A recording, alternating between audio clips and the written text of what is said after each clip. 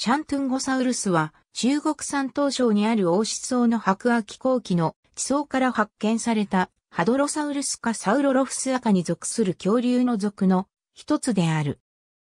シャントゥンゴサウルスと他の大型長脚類との大きさ比較復元図、シャントゥンゴサウルスは最大の長板類の一つであり、ホロタイプの頭骨は長さ1.63メートルで、北京の中国地質学研究所に展示される復元骨格では体長約15メートルであり、また元はズシェンガソリスマキシマスとされていた別の標本では約17メートルである。最大の古代では体重は16トンほどであった。すべてのハドロサウルス類と同じくくちばしには歯がないが、顎には約1500個の小さな頬場があった。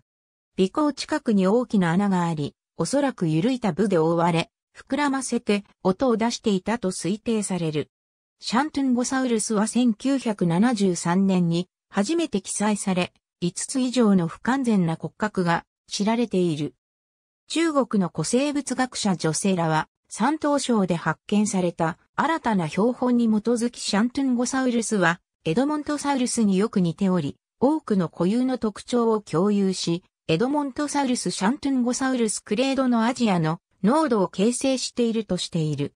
山東省で発見されたいくつかの個体の標本には、頭骨、死の骨、椎骨が含まれている。